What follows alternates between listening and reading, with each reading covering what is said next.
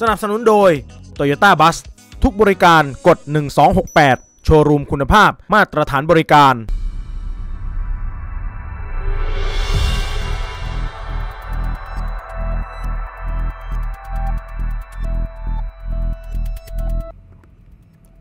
สำนักข่าวสินหัวจากประเทศจีนรายงานว่าการแข่งขัน China Mermaid Open Championship Atlantis Station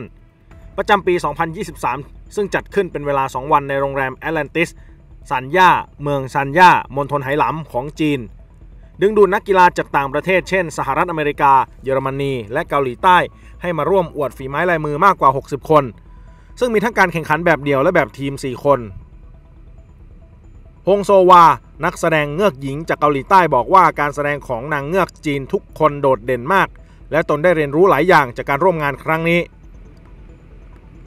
หลังพัฒนามาหลายปีกีฬาการประกวดนางเงือกของจีนก็ได้สร้างมาตรฐานคู่มือและเกณฑ์การเลือกสถานที่ที่มีความครอบคลุมสมบูรณ์มากขึ้น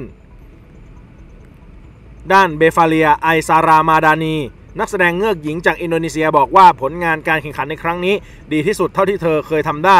การเตรียมตัวทุกอย่างล้วนมีรายละเอียดมากมาย และมีมาตรฐานชัดเจน พร้อมชมว่าจัดการแข่งขันเช่นนี้ ดีต่ออุตสาหกรรม ซึ่งเป็นตลาดเฉพาะด้านที่เกิดขึ้นใหม่ แอนดี้วากัสนักแสดงเงือกชายจากสหรัฐ แสดงความเห็นว่าควรยกระดับกีฬานี้ ให้มีมาตรฐานที่ทุกคนสามารถปฏิบัติตามได้ สร้างการยอมรับในระดับสากล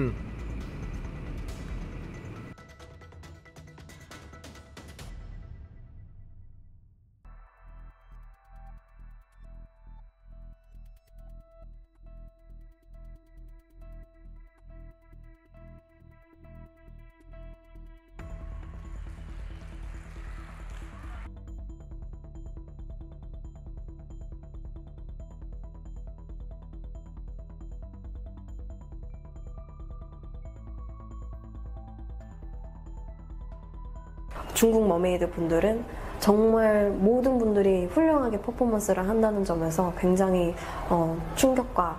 또 많은 것을 배웠다라는 점을 배웠어요. 네.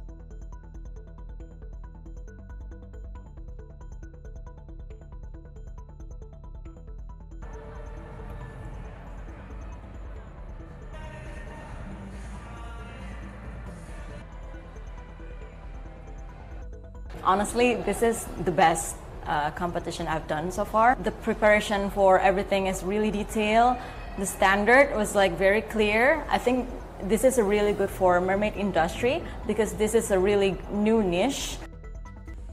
I think that that's something that should be the future of the mermaid community, elevating it to a standard that everybody can follow so that we can make this something that is universally accepted.